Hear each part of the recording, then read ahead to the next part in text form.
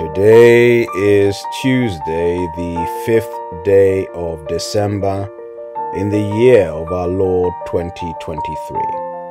This is the day that the Lord has made. We shall rejoice and be glad in it. And the Lord's blessing for today is taken from the book of Matthew at chapter 1. The birth of Jesus Christ.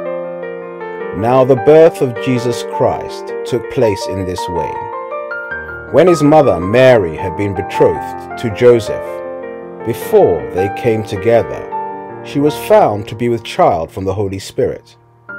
And her husband Joseph, being a just man and unwilling to put her to shame, resolved to divorce her quietly.